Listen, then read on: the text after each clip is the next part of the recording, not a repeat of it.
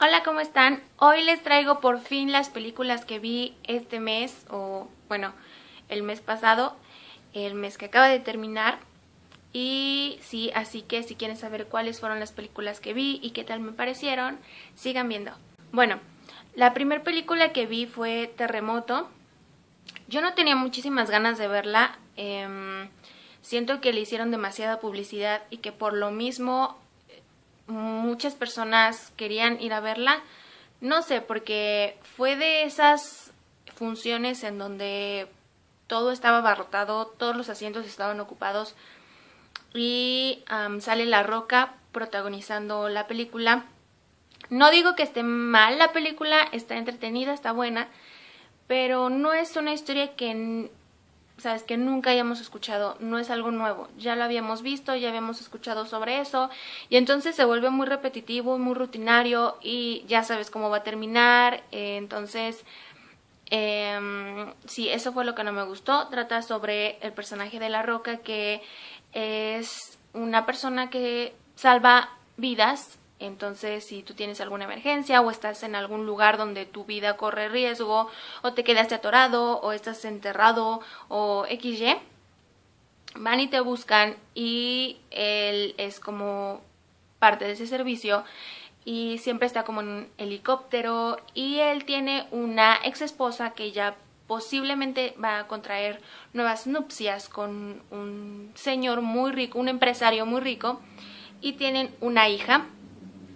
que mm, la ponen como entre adolescente, joven y este tipo de cosas. Y eh, surge que ella tiene que viajar al mismo tiempo que tiene que viajar su mamá con el nuevo novio. Entonces viajan y ella acompaña al nuevo novio. Resulta que la mamá se separa por X o Y razón y entonces empieza a haber un terremoto y al ser rescatista, perdón, el personaje de la, de la Roca, entonces va a buscar primero a la mamá, a su ex esposa, y después los dos van a buscar a la hija. Y ya saben, de nuevo vuelven a sentir estos sentimientos y la hija eh, se encuentra con un tipo que va con su hermano, que justamente cuando hay el terremoto, él iba a pedir trabajo a la empresa de su más bien del, novio de su mamá. Entonces se conocen y X también empieza como algo de amor y todo esto es de acción, es... Sí, eh, pasa muchas cosas y está entretenida, les digo, porque nunca deja de haber acción. Pero en realidad siempre sabes cómo va a terminar y siempre sabes quién se va a quedar con quién, qué es lo que va a pasar y todo eso. Entonces eso fue lo que no me gustó, que esta historia es tan conocida, no solamente desde el principio y la trama y lo que sigue, sino el final, ya te lo sabes, desde el primer momento en el que ubicas a los personajes. Eso fue lo que no me agradó. Pero digo, en algunas eh, salas de cine sigue existiendo esta película y pues si la gustan ir a ver, creo que tal vez eh, por los escenarios y los efectos eh, está bueno si la quieres ir a ver em, al cine, pero realmente si no la vas a ver al cine pues no te pierdes demasiado. Así que te puedes esperar a verla en tu casa o sí, yo pues si te gustan mucho las de acción, sí te lo recomiendo, pero si puedes no sé, si no te encantan tanto de fenómenos naturales y todo esto, siento que podrías pasar y verla nada más cuando tengas oportunidad. La siguiente película que vi fue Spy, una espía despistada y la verdad es que yo no me esperaba demasiado esta película porque el tráiler, bueno, casi siempre ves que en estas películas de risa los mejores chistes están en el tráiler, entonces no me llamaba tanto la atención el tráiler. Y entonces yo dije, ah, probablemente no esté tan buena, pero no, me llevé una súper sorpresa, está muy buena, está muy graciosa, si en verdad te gustan de risa, esta es la película. Y realmente es algo que yo no me esperaba, es una historia de este personaje que ves que, bueno, es esta mujer gordita y que, sabes, nadie, nadie la pela y entonces eh, ya es el oído de un agente que es Jude y entonces ella se encarga de que él sepa los caminos y como tiene ella la visión de las cámaras le dice no sé, va caminando Jude y entonces ella le dice, no, pues a la izquierda te van a salir dos y a la derecha hay un camino y le ayuda en ese tipo de aspectos porque trabaja en una agencia em, de servicio secreto y todo ese tipo de cosas. La situación está en que ella había hecho ese examen para ser un agente secreto y por X y por Y em, ya no lo puede lograr. Y como no lo logra, eh, te encuentras como un personaje un poco frustrado, que no sabe bien a bien qué es, eh, cuál va a ser su suerte. Y secretamente está enamorada de Jude Law. Entonces, em, de repente pasa algo y Jude Law muere y ella no sabe qué hacer y necesitan a una persona que sea desconocida para el mundo de los agentes para que pues puedan arreglar todo esto, llegar hacia la persona que mató a la gente y que está matando a muchos más agentes. Entonces eh, la mandan a ella porque no la conocen nadie en este mundo y entonces le crean identidades súper graciosas y se ve genial.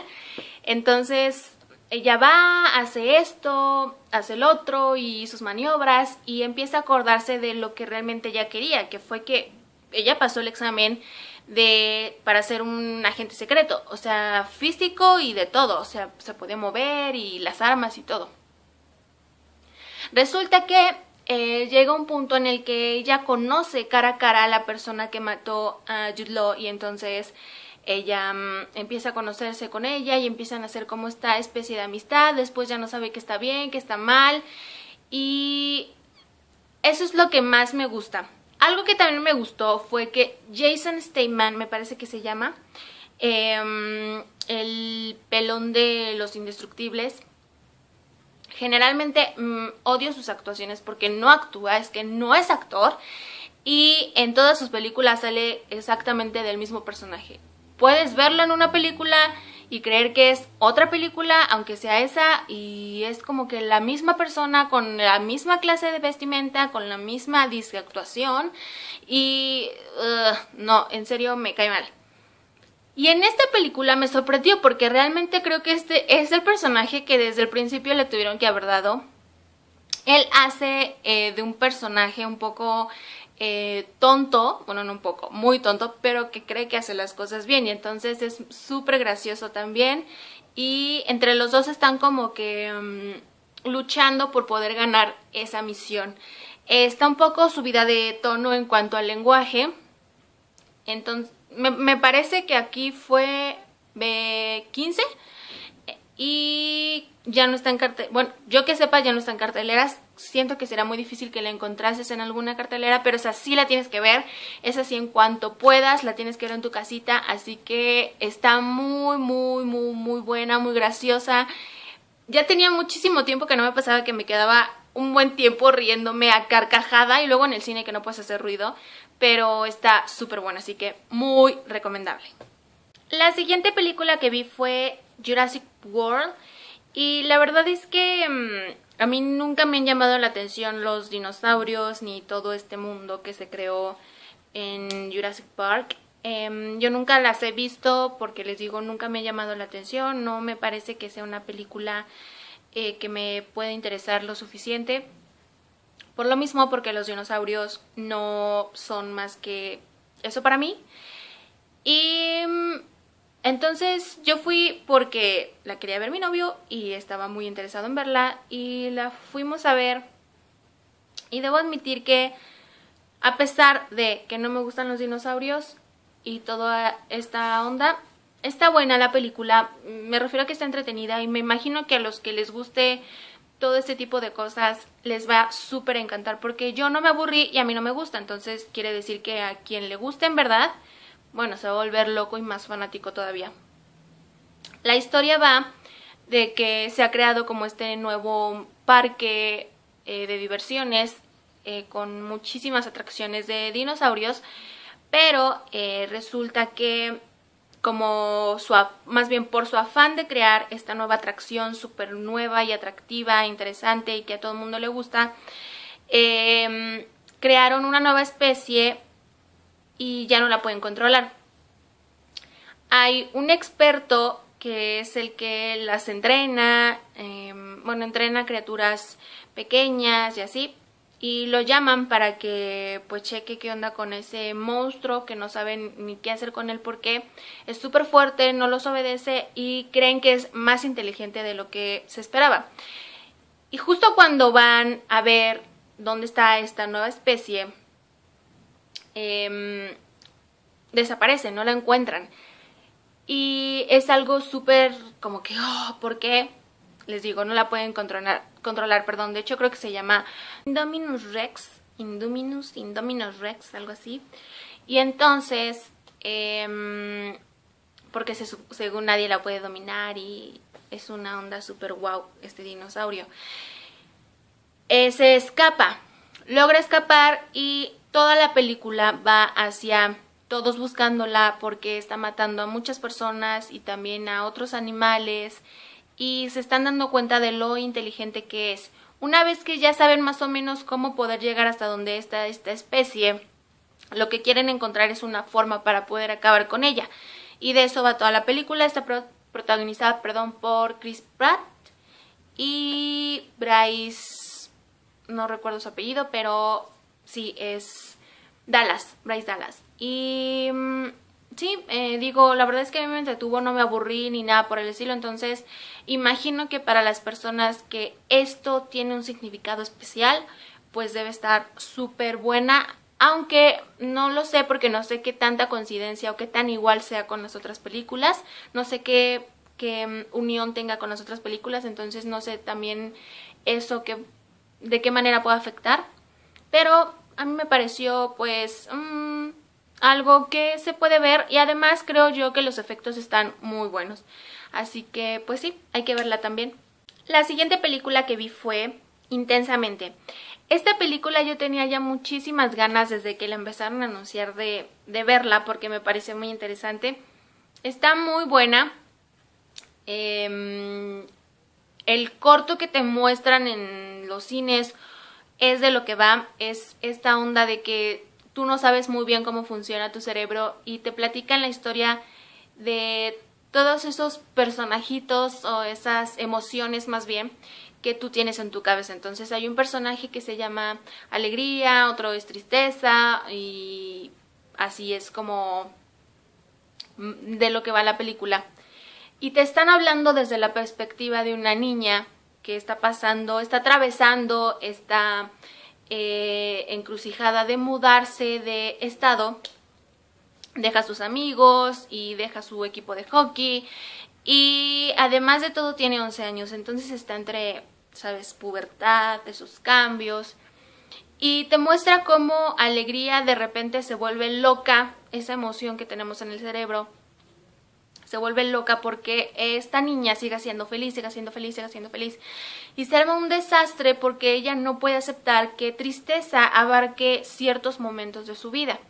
Entonces empiezan a vivir ciertas aventuras, se encuentran con un amigo imaginario y te muestran cómo según este mundo está formado el cerebro de ciertos edificios que marcan etapas muy importantes en tu vida. Por decir, el de la niña mostraba honestidad, un edificio que se llamaba así, otro que se llamaba hockey, otro que se llamaba familia, otro que se llamaba amistad, otro que era boberías o tontadas, algo así, no recuerdo y se van destruyendo porque la niña empieza a crecer y empieza a vivir un nuevo camino en su vida. Pero Alegría, que es el personaje principal, eh, no lo puede aceptar. Ella quiere que su vida sea alegre y que todo sea feliz y es de lo que va absolutamente toda la historia. Obviamente es A y, y todos pueden entrar. Está muy buena, me parece que está genial. Tanto para niños como para adultos me encantó. Así que es súper recomendable ya la tienen que ver, esta todavía sigue en carteleras, así que vayan a verla. La última película que vi fue Dos locas en fuga. Eh, tenía grandes expectativas con esta película, creía que iba a estar muy buena, le habían echado como mucha publicidad y además Sofía Vergara y, y sí, creía que iba a estar muy muy buena, la verdad es que no me gustó, tiene dos o tres buenos chistes, de ahí en fuera está como mal hecha los chistes son viejos, antiguos o ya te sabes el final de los chistes y entonces ya no es como que agradable. Eh, sí, les digo, son dos o tres escenas que me provocaron la risa, de ahí en fuera todo el tiempo fue como que bien... Ah, Bien X, yo no la recomendaría ni siquiera que corras a buscarla después para verla en tu casa. No siento que valga la pena. Si de repente cuando salga en la tele es lo único que hay, podrías verla, pero no siento que esté buena ni que la hayan eh, sabido hacer. Así que sí, la, la historia va de que Sofía Vergara es la esposa de una persona, de un testigo que está hablando de un narcotraficante súper poderoso y entonces como va a hablar acerca de él, lo matan y Sofía Vergara es ya la única testigo que queda y la tienen que proteger. Reese Witherspoon, que es la otra eh, chica eh, protagonista, la tiene que cuidar porque ella es policía, pero resulta que no es muy buena, ha tenido ciertas cosas eh, o incidentes que no le permiten ser tan buena y entonces si va de todo esto entre las locuras de Sofía Vergara y eh, las cosas que intenta ser buena, más bien buenas, Reese Witherspoon, pero no le salen eh, porque quiere ser muy buen policía, pero tiene estos traumas que no la dejan vivir y tienen que viajar, están en un estado y tienen que viajar a otro estado para que ella pueda testificar, para que Sofía Vergara pueda testificar. Y durante todo ese trayecto las están siguiendo porque no quieren que testifique, porque son dos bandos, eh, la misma policía está coludida, entonces empieza a crear todo este embrollo que la verdad no siento que haya sido embrollo, les digo, no está muy buena, no me entretuvo, no me dio risa y me arrepentí de haberla visto en el cine. Mm, así que yo no se las recomendaría. Y ya eso fue todo por el video de estas películas, espero que les haya gustado, ya saben que con este mismo video nos vamos hasta final del siguiente mes, más bien de este mes que ya está corriendo y pues sí, espero que les haya gustado, bye.